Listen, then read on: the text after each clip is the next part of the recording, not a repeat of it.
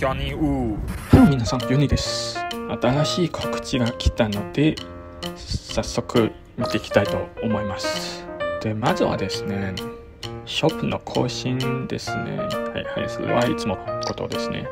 で、10月3日、まどかの誕生日のキャンペーンも開催されます。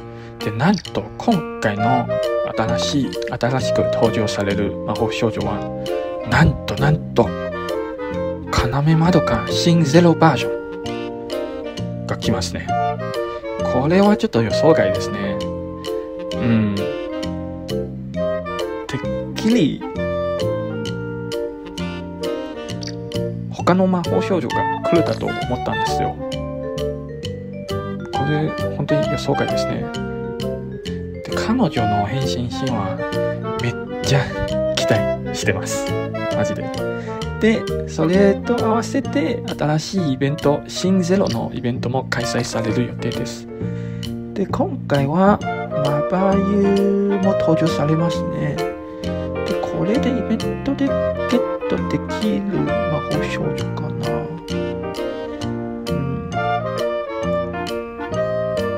ちょっと今回のイベントは、なんか今までのイベントと若干違う気がする。うん。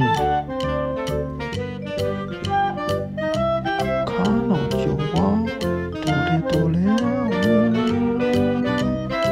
あ、そっか。はいはい。メインストーリーを一定まで進めることで獲得できますね。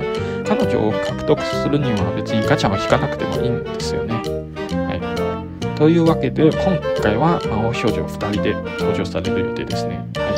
で、メンテに関しては、ちょ長めの2時間のメンテが実施される予定です。まあ、ちょっと結構大きなアップデートになりそうなので、2時間は、まあ、それも想定内ですね。みんなは、まどか新ゼロバージョンのガチャを引きますか？よかったらコメントに書いてください。それではまた次のビデオでお会いしましょう。